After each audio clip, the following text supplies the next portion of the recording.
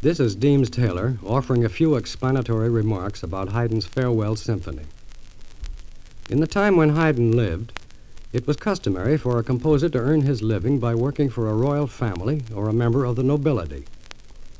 This may seem a little odd to us now, but it will seem less surprising if we remember that Haydn was born in the same year, 1732, as another famous man in a different part of the world, George Washington.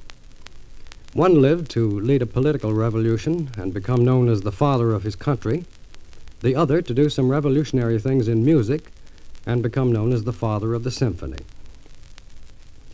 Haydn's special patron was the Hungarian Prince Esterhazy. He lived in Vienna most of the year, but during the summer months his whole household, including the orchestra and Haydn, moved to his country estate in Hungary. The days were spent in hunting and the evenings in eating, drinking, and listening to music, some of it written during the same day. This farewell symphony, and by the way, it's four years older than the United States since it was written in 1772, was composed not only for a certain occasion, but for a particular purpose. While there was room on the Esterhazy estate for hundreds of guests, attendants, and servants of all kinds, there was no room for the musicians' wives or families. During this particular summer of 72, the weather was unusually fine, so that the prince postponed his return to Vienna once and then a second time. Well, since there wasn't anything the musicians could do in the way of a formal complaint, Haydn did the next best thing.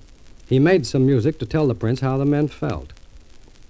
Having been ordered to write a symphony for one of the prince's musical evenings, he worked his grievance into the music. As with most of the classic symphonies, there are four movements the usual fast opening one, then a slow movement, and then a minuet. But instead of finishing off with the usual light fourth movement, Haydn begins this one very dramatically, as though he were trying to compel the listener's attention. Then he stops for a moment and begins a slow, pleading section. It must have been a daring and rather tense moment when first one member of the orchestra and then another blew out the candle on his music stand and left the stage until finally only two lonely violins were left at the end. And I might add that the prince got the point, and a few days later everybody went back to Vienna. It's fairly simple, listening to this music, to understand how a symphony was written in Haydn's time. The opening idea is taken from the basic chord of the key of the symphony, that is, a chord of F sharp minor. As Haydn uses it, it sounds like this. In his treatment of this idea, Haydn uses certain standard musical devices, such as dynamic contrast, meaning that it's first played loudly and then softly. Another device is changing from major to minor and back again, and then shifts of register from high to low. For contrast, Haydn introduces a very different idea, more tuneful and quieter. And so, in this one compact little movement, you hear the basic elements of what musicians call sonata form. In the second movement, the violins play with mutes, which accounts for the different tone quality of the strings. This movement also has several contrasting themes. The first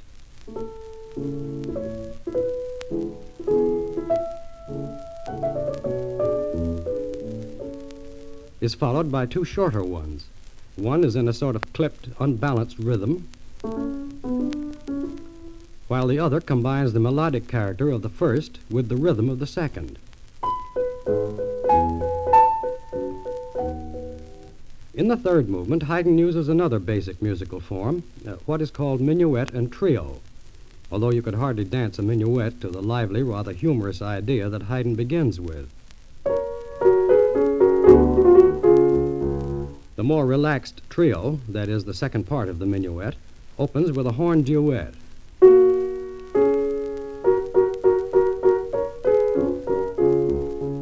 And then, as is customary in this form, the minuet is repeated.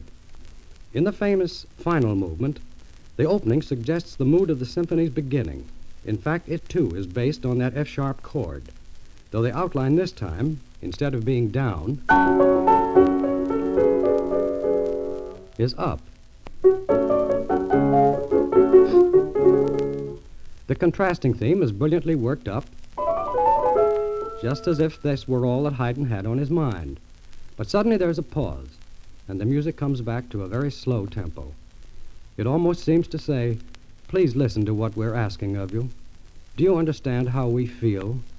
Can you hear the post horn?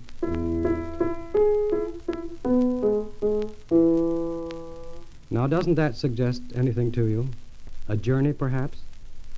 As each of the instruments drops out, the music becomes more and more plaintive and beseeching until finally it dies away completely. And now you hear Haydn's Farewell Symphony, directed by Erich Leinsdorf.